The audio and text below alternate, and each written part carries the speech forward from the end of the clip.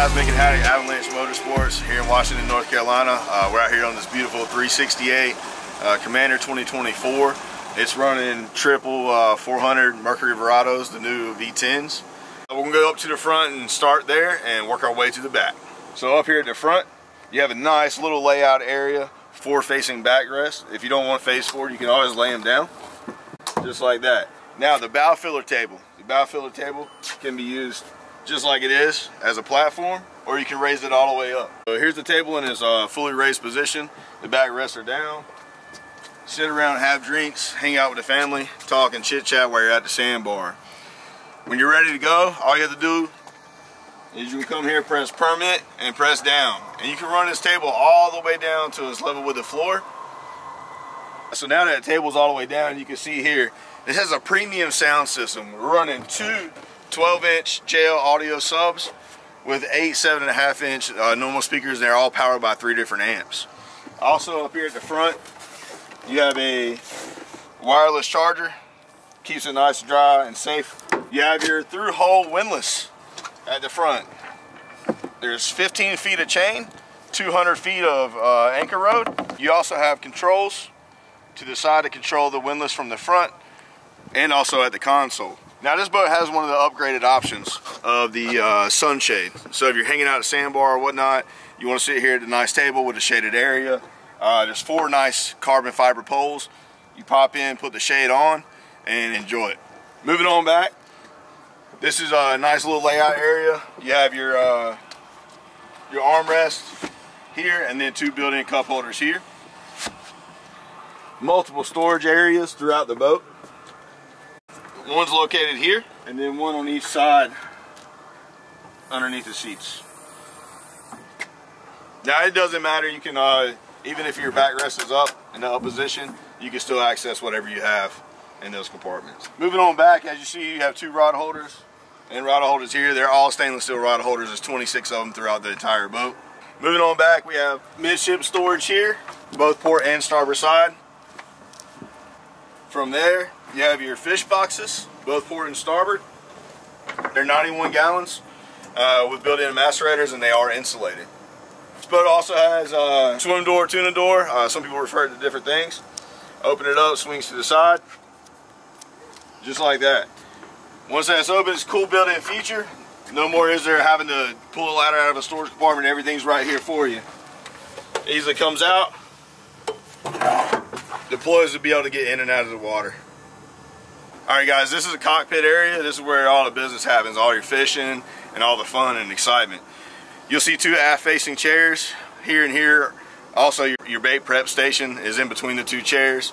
Uh, we have a Garmin 8610 that faces aft so when you're back here you can see your water depth and also see all your sonar and radar readings from that too. Your bait prep station is going to include uh, your complete area for your storage for all of your gear, tackle, uh, pliers, knives and that sort of thing. Also, you have this nice countertop right here. It serves as a dual purpose. If you flip it over, you can use it to cut all your bait and prep it before you put it on the hook. Also, you have this nice strainer here, so no fish guts or anything like that gets down in the drain and clogs anything up. Your freshwater wash down for that is, is right here, a little pop out, shine a shower nozzle. So not only do you have the freshwater wash down, for your bait station area, you also have two other freshwater washdown locations. One's here back at the rear of the boat, just above the raw water washdown connection, and then one at the front of the boat to be able to wash down the uh, anchor line, chain, and rode. You also have a drawer for other utensils and other needs there. All these boats come standard with a 65 quart Yeti cooler. This cooler is on a slide. This boat also comes with uh, fender pros. What fender pros allow you to do is you tie your fenders off one time and you never have to tie them again. They pop in, pop out. You have two 50 gallon live wells, one on either side, both port and starboard. This boat also has uh, two coolers and or freezers. You can use them either or. At the back of the boat, uh, yeah, there's two flush ports, both port and starboard side. Uh, so when you're done for the day, you can flush your motors out. It's one quick connection. Uh, first click on the button is going to be for 15 minutes. Uh, it's going to run through each motor and then the second click of the button is going to run each motor for seven and a half minutes. Whenever you're done fishing or you just want to go hang out at a sandbar, this boat comes with an option of a rear canopy. What that rear canopy does is it's going to cover the entire cockpit area and protect you from the sun. All right, guys, so once your canopy's out, you reach right down here, grab your jump seat, pull one hand, and flip it down, and then you're ready to sit back and relax. With the two rear-facing jump seats and this little jump seat right here, everybody can be face-to-face, -face, have a good conversation, and uh, hang out.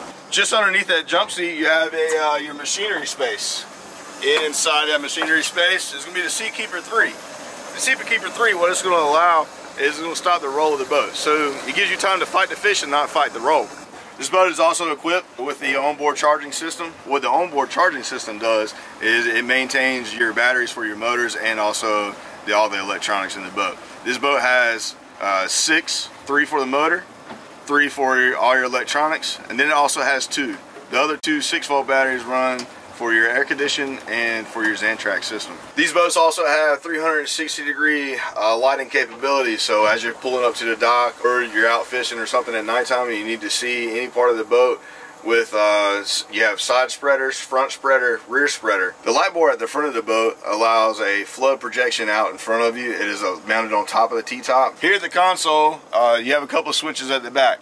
The rear nav lights allow you more uh, bridge clearance and everything is electronic and it moves up and down. So you can raise and lower it as needed by the ease and quickness of pushing a button.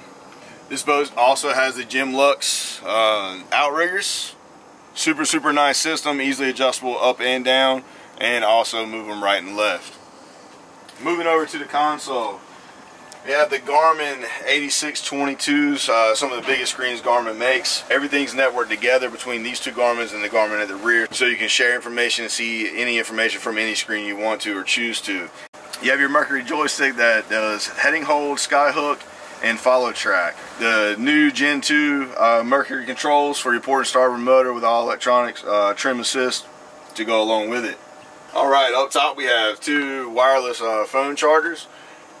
You also have your vent controls uh, for any air. You know, it's hot summer day, you want to get a little bit of air. You can open and close it, all electronic. Hey guys, join me inside the console and show you what Seafox has to offer.